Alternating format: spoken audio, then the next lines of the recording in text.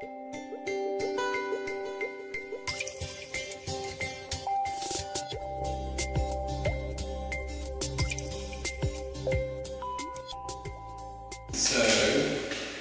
It's just a bit yeah.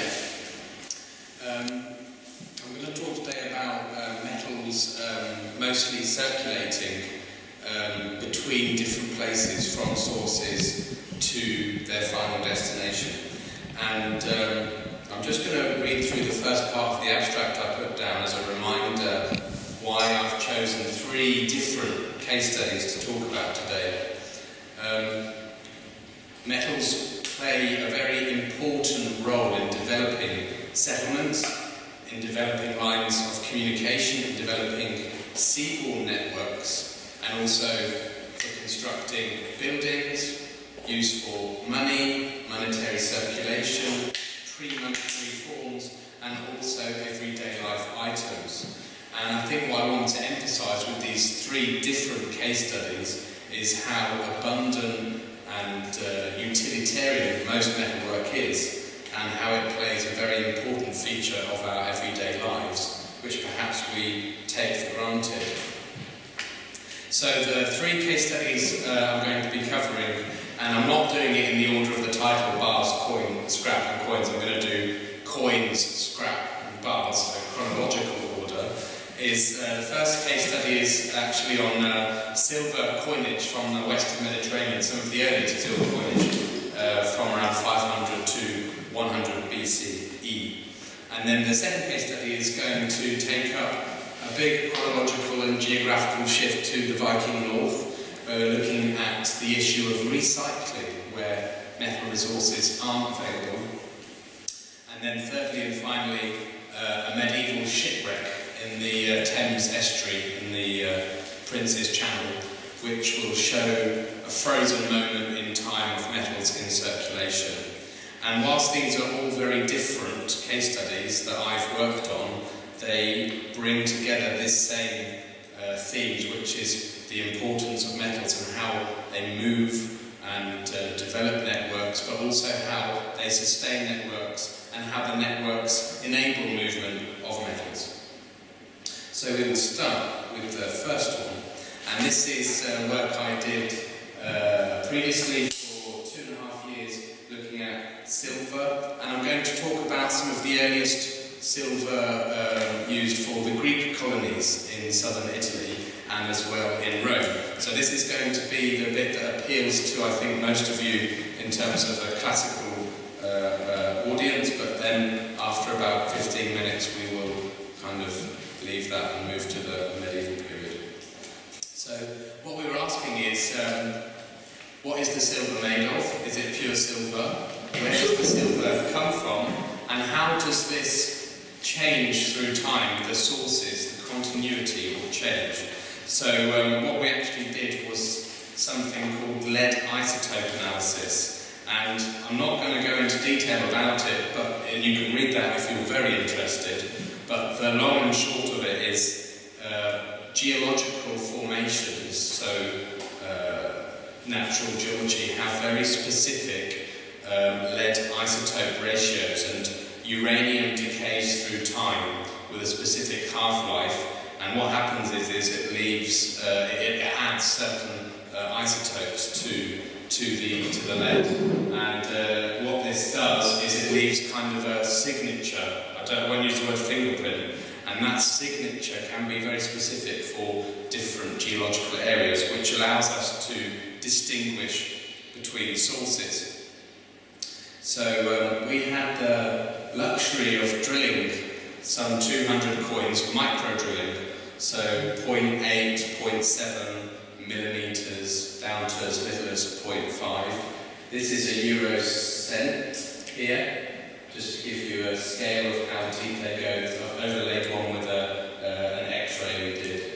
And uh, we took these drillings and analysed them for their composition and also for their lead isotopes. And that's really the key to sourcing where silver comes from.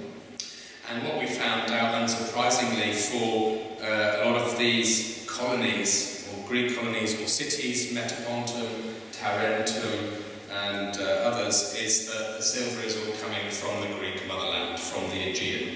And uh, this is uh, reference data from the Oxford lead isotope database. And in short, the, the red is uh, the Aegean, so silver sources from Macedonia, from Thrace, from Attica, the famous mines of Laurion, and all of our coins essentially come from either Attica, from the mines of Laurion, or from the mountain ranges of uh, the Rhodope Mountains, from Chalkidiki, and Xanthi being one of those mines in the Rhodope Mountains.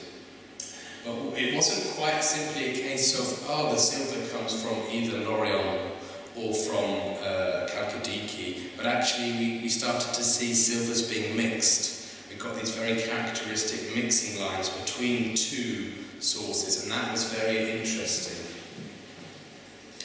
Um, but is it all silver?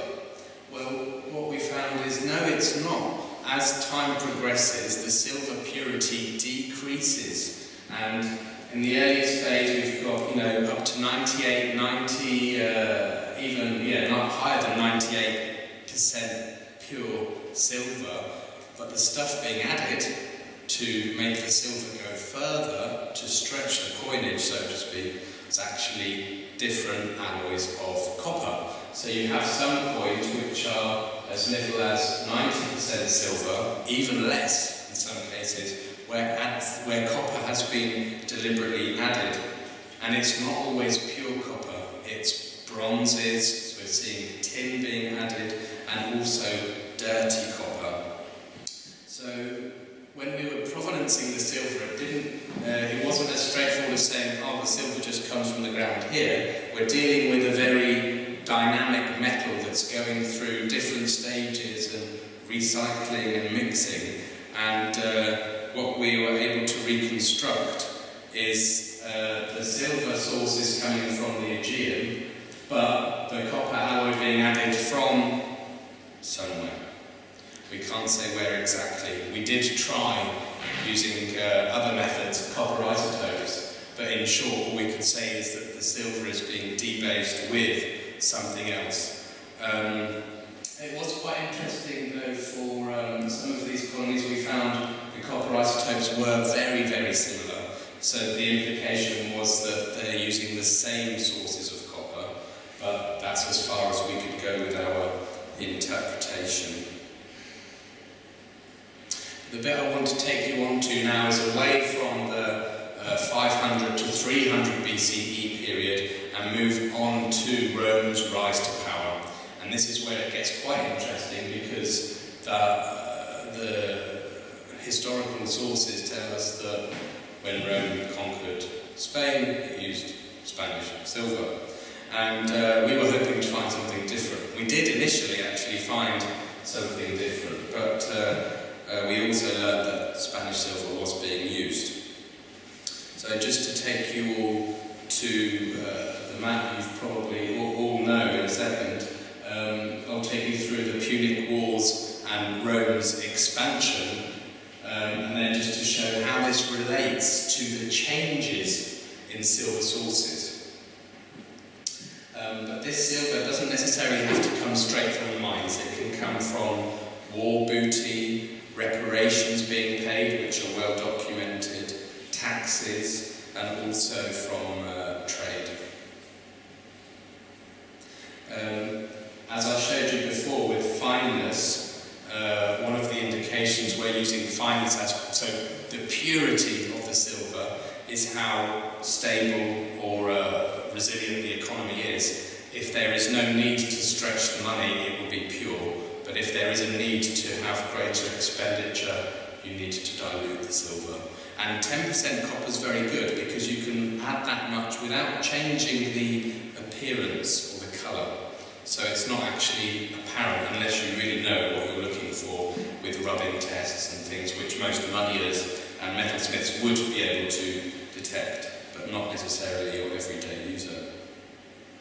So in the beginning, um, it feels a bit um, fraudulent of me telling a, a classic audience about the Mediterranean, so I'm not a classicist. Um, we have uh, Rome uh, here with its fairly small territory. And during its rise, after the uh, First Punic War, we see that it has already taken over Sardinia. Sorry, after the Second Punic War, which is around 218, it's taken over Sardinia and Sicily. And by the time of the Third Punic War, Carthage has been uh, totally overcome and Rome's territory has expanded to incorporate the whole of the Mediterranean.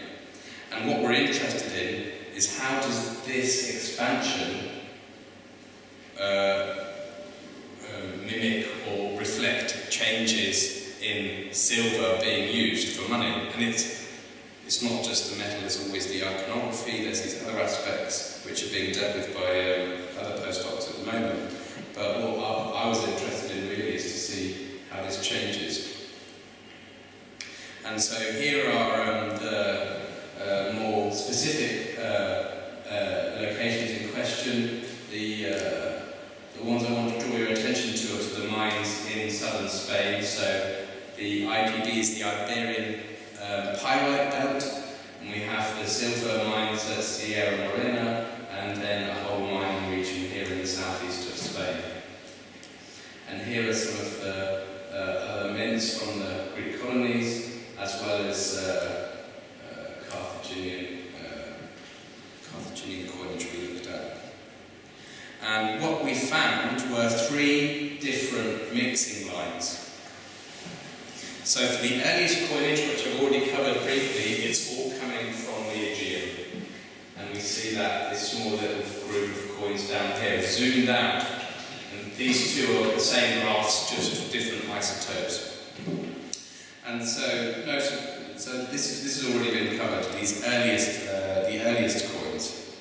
But what's um, perhaps uh, more interesting and relevant now is this rise to power. We see that Rome is actually using silver from Spain for its coinage after the Third Punic War. So uh, this area is, well, I'll cover it in the next slide, uh, Iberian Belt and then uh, south, southeastern Spain.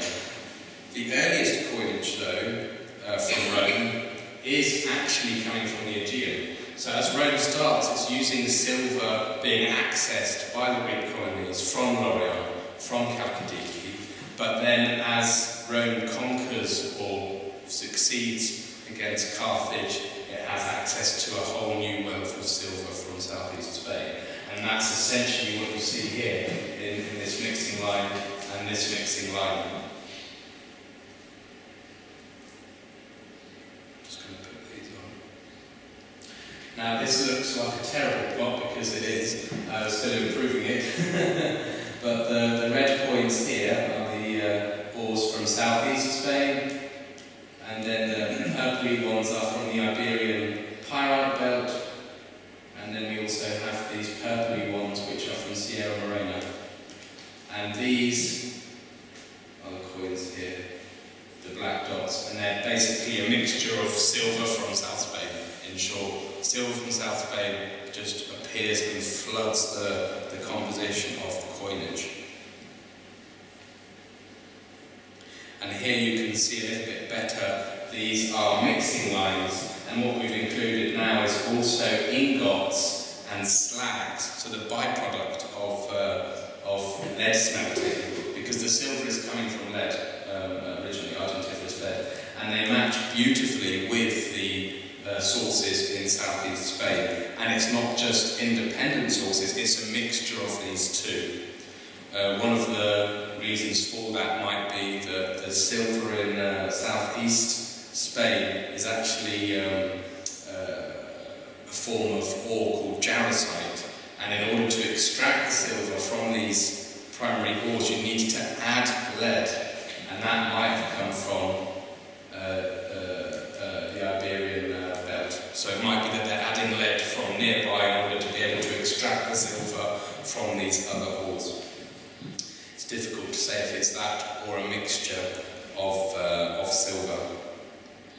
And uh, what's interesting is if we combine this again with our previous uh, knowledge on fineness, what we see is after Rome has expanded, the purity of the silver doesn't uh, keep decreasing, but it actually returns back to a really high purity.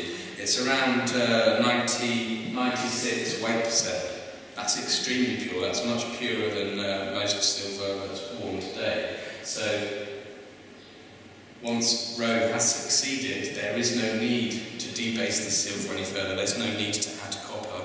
This is a reflection of political stability and success in the silver. At least that's how we're interpreting it. It's after gaining access to the sources in Spain that uh, we see this return back to pure silver.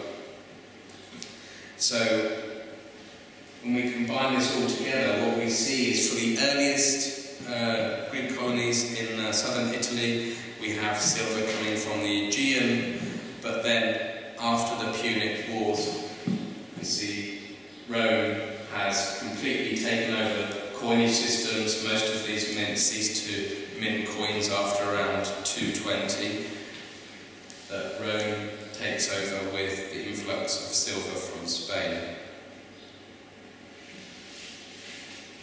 So, going back to the initial uh, points being made about this talk, is that metals are in general so uh, innately tied to urban developments and urban dynamics, and this is one of the examples I put forward to you today, is that without this dynamic movement of silver, mixing of silver, and acquisition of new silver sources, perhaps this expression and expenditure of Rome's political gains and successes may not have been uh, possible.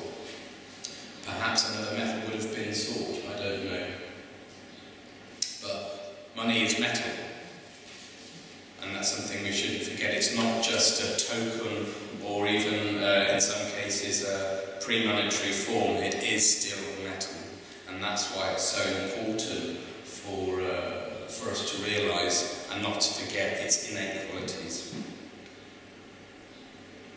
So now I'm going to take you to the second case study, which is also to emphasise the dynamism and movement of metal networks um, and its importance for uh, settlements and urbanising communities is now in uh, Iceland which is in the North Atlantic. And uh, what uh, I'll show you now is a series of uh, finds from crucibles and scrap metal found uh, at different sites all over the country. And our question is, is there evidence for production of metal metals in Iceland? Is there evidence for copper production? And if not, where is the metal coming from? Where is it um, how is it being used? And most of the stuff uh, that's coming up, non-ferrous, so not iron, is uh, this kind of material, which is heaps of coppery scrap. Don't know exactly what it is until you analyse it, but I can tell you uh, this material, about half of it is pure copper, and the other half is brass, which is a mixture of copper and zinc. And uh, this material is associated with these crucibles at one site in the north at Skogar. And um, the crucibles from Skogar are quite big for crucibles. And the reason we were excited was, was, to, was thinking, is there uh, a reason these crucibles are so big? Because at other sites, when you get them this big, it's actually for the extraction of copper from ores on a small scale. So we were wondering, is this then the evidence for primary copper um, uh, smelting? Um, and there's slags as well being found. Um, the short answer is no, but we'll get to, get to the result in a second. Sadly, very sad. Um, so in red are the sites from uh, all over Iceland where these crucibles have been found. I've just highlighted in relation to the biggest towns. Um, is. And uh, most of them cluster up in the north. Skolgar is just up here. And uh, I just want to bring your attention to one potential ore source here. And I'll show you in the next uh, slide later ore source uh, in the west here. Um, well, not ore source, but potential ore source. And uh, what we found uh, again with these other crucibles is that copper kept coming up and zinc, copper, zinc and tin, copper and silver. So there's evidence for the use of copper alloys in these crucibles, um, as well as traces of precious metals. So the, the crucibles were most likely not for uh, extracting copper, but actually for recycling, re remelting down scraps of uh, copper, copper alloy, and also even precious metals. And we see this repeated again. Here's another one, this time with gold uh, being picked up. And some of these sites are, well, some, about two-thirds are associated with religious sites. Holar is, uh, is uh, one of the early Christian sites in Iceland. Um, and uh, we analysed some of these lumps. I told you earlier we had pure copper and brass, and this other lump that was found in the highlands in Iceland with this one crystal at Kaulunga, it's a huge dam now, is also brass with about uh, nine and a half weight percent zinc. And again, we see this being repeated, and uh, sorry, this one's got quite a, a, good amount of tin there, so bronze even being remelted down, not just brass. These are X radiographs here.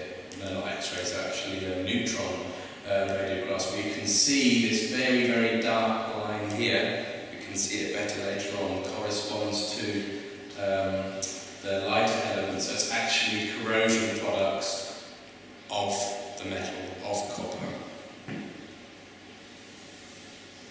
Another one from uh, downtown Reykjavik.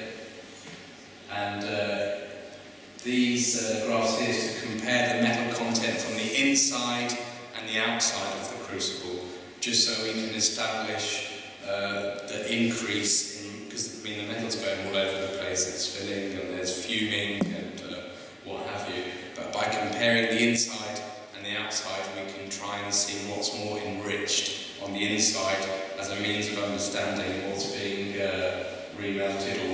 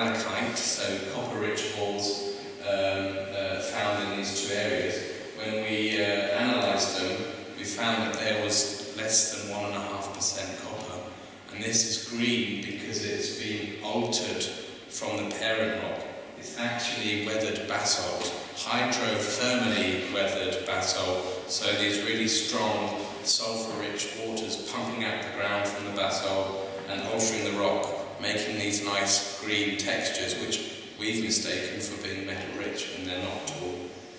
Kind of natural anomalies. And uh, not just the metal, but the crucibles themselves um, posed uh, a, a, real, um, uh, what's the word? Uh, posed some confusion because in Iceland clay isn't abundant. You don't have plastic clay like you have all over the, uh, the islands and uh, mainland Greece. Uh, Iceland's geologically very young, so the parent rocks, the basalts, haven't had time to weather, um, and the clay you do have isn't plastic. It doesn't have the adhesive qualities that you need for making pottery, for making crucibles.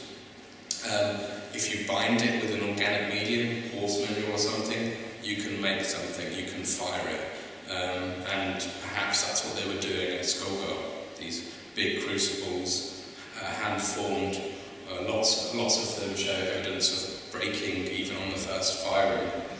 But uh, a few of the crucibles we managed to take samples of destructively, which we weren't allowed to do for all of them, we found some sedimentary rock inclusions. And um, so, for those of you that know Iceland, it is a, uh, a volcanic island. Uh, so it's igneous rock, so rocks forming from uh, volcanoes. Um, there's very little in the way of sedimentary rocks uh, whatsoever.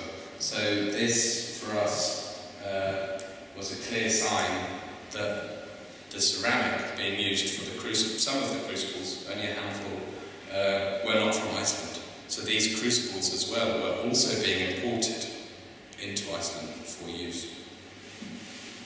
So in, a, in an environment where there isn't uh, any evidence of uh, mining activity, but there is uh, signs of discoloration which could be mistaken for primary minerals, um, what do you do?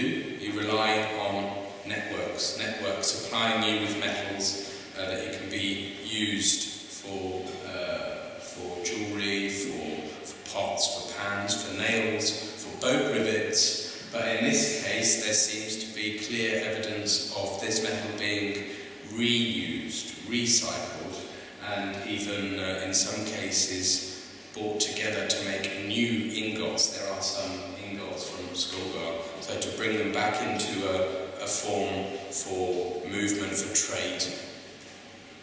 And that's what we're going to move on to next is the final case study, and we're doing very well for time. I'll only hold, take another 10 minutes off your precious lives. is uh, uh, the medieval uh, period, uh, a bit later now, talking about the High period, uh, shipwreck in the Thames. And this is known as the Gresham shipwreck. And uh, what was found in the shipwreck was a lot of metal. Um, in the uh, earliest uh, salvage operations in the 1800s, 1846, uh, boats picked up over 2,000 uh, different metal ingots, 2,700 ingots of iron, of lead, of, of tin. Um, there was uh, excavations uh, recently in 2003 and 4 where they picked up, I suppose you could say, the leftovers, a little bit that was left over in the shipwreck, and that included these uh, lead ingots. There was three of them. This is one to show you the underside and the top side. It's like a, a bread loaf, and also tin ingots. Five were found recently, very long, thin strips. And then uh, on top of that, uh, these huge iron bars. Um, the capacity of the ship was probably about 150 tons, and uh, it seems that most of the material that was picked up in the 1800s was these uh, iron bars, which have been uh, folded onto themselves like so, uh, left and right, two folds, down to a pack size of around two. Uh, it's good for uh, packing on a horse or a mule. And uh, they're, they're around 40 to 60 kilos each. And so what we're interested in with this shipwreck is what does this assemblage, this, this assemblage of different trade forms of metal tell us about the shipwreck, about the voyage or the final voyage of this ship? Where was it going to? Where had it come from? And actually this mixture of objects was very nice for us being able to try and put together a narrative of the last voyage and the, I don't know, previous uh, movements of the ship prior to its sinking. And uh, what I showed you before uh, was lead isotope analysis with uh, silver coins. That also is used here for the lead and the tin ingots to trace their sources. Um, but for iron, it's not quite as straightforward. We actually do something called um, slag inclusion analysis, whereby you uh, take a piece of your metal object and you cut it up and you make a nice sample block. And inside the metal, when you look really close, microscopic level, you'll see in the metal there are still some traces of slag, slag from the original production of the iron. So you find slag on archaeological sites uh, from where iron was being produced, and we can relate the slag from those archaeological sites, from those iron production sites, to an object. And this has been going on now for about 15 years, this, this line of research, and uh, this is what we did on the Gresham uh, bars to see if we could get an indication of their, their provenance. And we did manage to uh, find a rough area, and when you combine the results together, this is the uh, narrative that kind of we've put together as the uh, final movements of the ship. Uh, here in the Thames estuary is the Gresham shipwreck. The other one up here is actually a contemporaneous shipwreck, uh, the Angeloot shipwreck, which is a Dutch uh, vessel as well. Um, it's not like the Gresham, I think, in that the Gresham is a armoured merchantman. There were cannons found on board. Um, but it is a shipwreck where there was also an abundance of iron bars found in the hull. And uh, the, the lead ingots um, uh, seem to have been produced in the north of England, in uh, Derbyshire, and that's the closest match for the lead isotopes of the ingots. And what's interesting is historical documents attest to a, a huge upsurge in lead production around this time, 1560 to around uh, 1600. And lead isn't just being produced from metal, but for um, lead oxide, this red coloured powder, which is used in painting, uh, it's known as uh, minium, um, uh, or I never remember. So there's an upsurge of production at around the same time. The tin, maybe unsurprisingly, is coming from uh, Cornwall, um, probably from uh, St. Day's mine in Truro, um, but it's important to note that even though Cornwall is famous for its tin deposits, um, it is not the only source of tin in northwest Europe. There are other sources. So we have lead from the north of England in Derbyshire and the tin from Cornwall. Um, where's the iron coming from? Uh, well, the nearest area we could relate it to is in the Rhineland, in North Rhineland, in uh, the Netherlands, uh, the Veluwe region, so Dutch iron. When we combine this all together, it seems very unlikely that the ship was going back to the Netherlands or the north coast with Dutch iron. Um, but uh, what we do find is there's historical documents attesting to the re-exportation of iron from uh, the Rhineland, from North Germany, and uh, also from Sweden. And uh, at this same time in the UK, uh, Britain was producing a lot of iron as well. So this iron in the ship was likely for re-export with British metal products, with the lead and with the tin. And the question is then, where is it going to? There are a series of different possibilities, but we can narrow them down to three likely ones. Um, there is um, other historical documents that attest to this type of iron, known as voyage iron actually, um, being used for as part of the um, trading uh, triangle for the slave trade. And uh, that would have been uh, somewhere on the west coast of Africa. Um, but the other possibility is that this ship could have been sailing for uh, the Levant, especially with uh, lead oxides. But another very likely uh, possibility is that it was sailing for the New World, where we also find lead coming from the UK in places like Jamestown, some of the first uh, colonies on the east coast who need metals in an environment where they have yet to explore and produce it for themselves. So this isn't new, this has been going on extensively for a long time and I think that's what's interesting with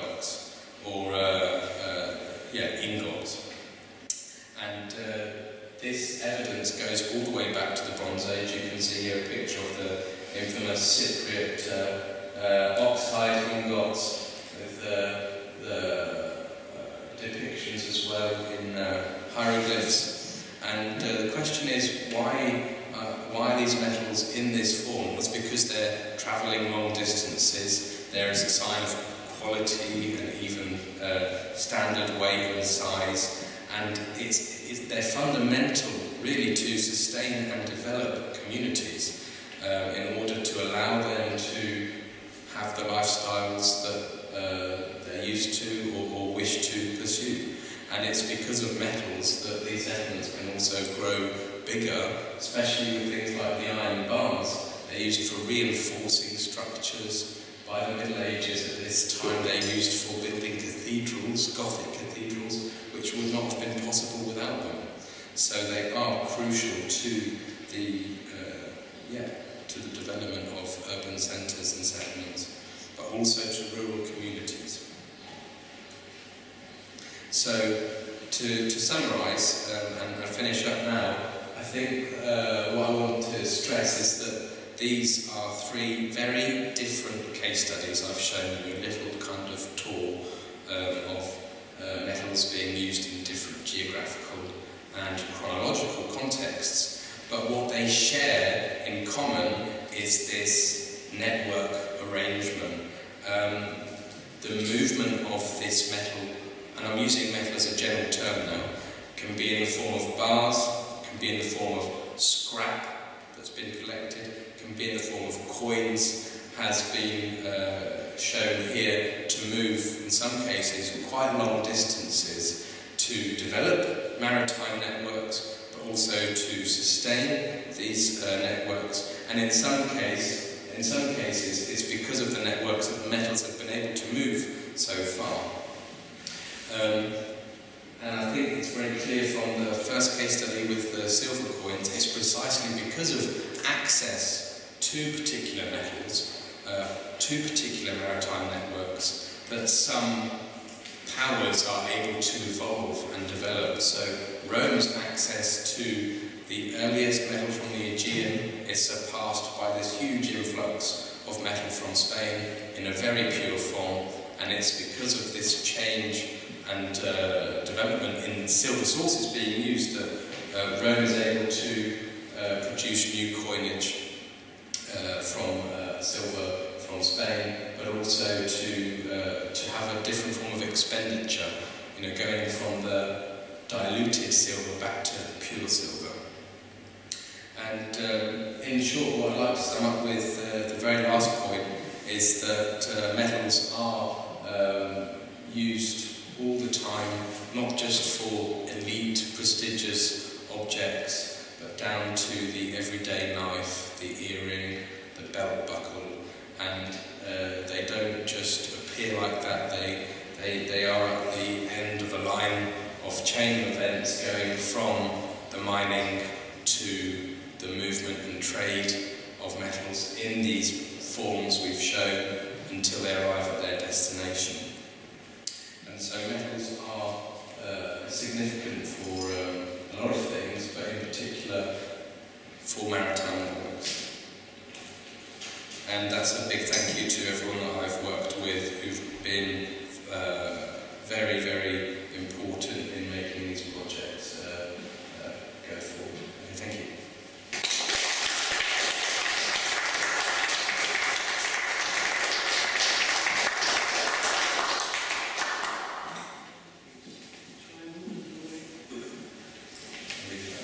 Thank you. Very interesting long perspective. I- I'm sure there are questions. I have a few. Shall we start with the audience, maybe? But maybe I'll start myself then. Yeah. So, two things. So, excuse me if I have, it's a slightly long question, because it, it seems that, so the case with the silver, which is a very interesting case, um, because the way we think about the Greek colonies in, in southern Italy and Sicily, they're fabulously wealthy. Yeah. And it must be a very uncomfortable situation to be able to be fabulously wealthy but actually not have easy access to silver. So they, they get it from the Greek world, where of course you have very powerful allies. So I suppose it's, it, the, the access has something to do with your ability to dominate that silver source, doesn't it? Yes Yeah. no. Uh, just to jump in there, Yeah, Taras and Metapontum. Mhm. Um, one's Achaean and one is Spartan. 40 kilometres apart, different, as I'm right in understanding, Mhm. different kind of uh, cultural affinities Yeah. to their motherland, Mhm. both accessing the same silver sources.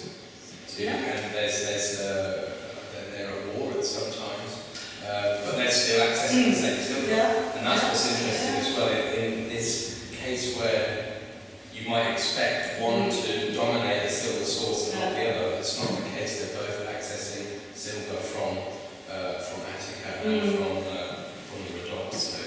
But, I do wonder that Yeah. because that, that, that must be, that means that the competition for the silver is really strong. yeah, yeah, Whereas what Rome does in taking Spain, Yeah. that means there is no competition. Yeah. They've got all the silver.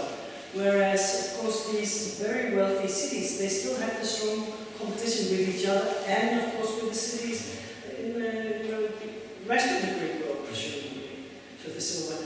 So none of them would get ahead, We'd be able to get ahead in the way that Rome then later was. yeah. And I think one of the interesting things about the silver coins is that uh, because it's diluted with copper, that's one thing that really differentiates them as well. So they're,